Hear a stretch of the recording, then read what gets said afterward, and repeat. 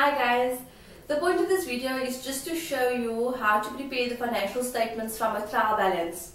Now as you know, um, in your exam you will have a question there will be a trial balance with additional information and you need to prepare your financial statements.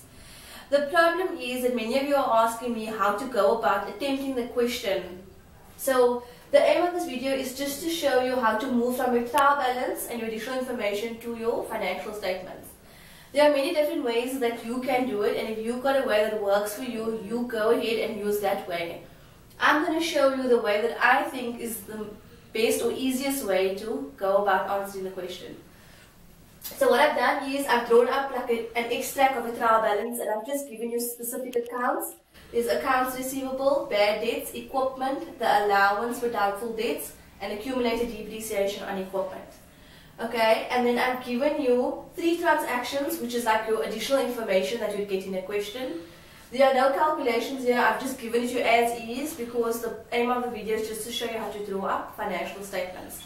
So by number one, I said depreciation on equipment is 10,000 Rand. You would normally have to go and um, calculate depreciation, but I've given it to you in this example.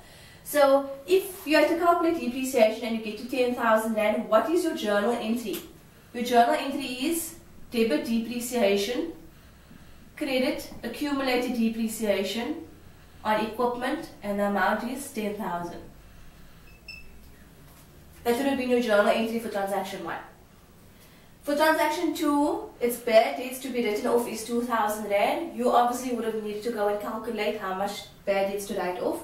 But your journal entry would be debit, bad debts, credit, accounts receivable. And the amount is 2000 Rand. So that is for transaction 2. And then for transaction 3, I'm telling you the allowance calculated at year end is 3000 Rand. Okay, normally you would have to go and calculate the percentage of the accounts receivable, but I've given it to you at 3,000. So what is your journal entry? You say 3,000 minus my allowance in the trial balance is 2,000. So 3,000 minus 2,000 gives me 1,000.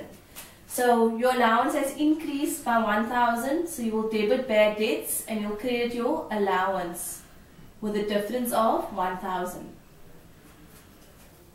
So we debit bad debts and we credit our allowance for doubtful debts with 1000 which is the difference between 3000 and the 2000 in your trial balance. Okay, now that you've done calculating and determining what the debits and credits are, you need to now put those journals onto the trial balance which is your question paper. So you're now going to say, okay, for transaction 1, I debited depreciation and I credited accumulated depreciation on equipment. Now if you look at your trial balance, you don't have a depreciation account, which means you now need to go and open up a depreciation account. So at the bottom of my trial balance, I will add a depreciation account. And I said I'm going to debit it with 1000 So that is an additional account which I am now adding to my trial balance. The credit was to accumulated depreciation on equipment. So here by accumulated depreciation on equipment, I will say plus 10,000 because you made an adjustment to it. The second journal is debit bad debts and credit accounts receivable with 2,000. So by bad debts, you will add 2,000. And by accounts receivable, you will minus 2,000, which is actually a, credit. And then the third transaction, debit bad debts. Again, you are adding to the bad debts, so it's plus 1,000 still. And then you are crediting the allowance, which means you are increasing your allowance with 1,000. Okay, so that's the first few steps. You went through your transactions, you calculated your answers, you put it into journal entries, you then transfer the journal entries onto your question paper trial balance. Again, when you are done with all of your transactions, you can then now proceed with the financial statements.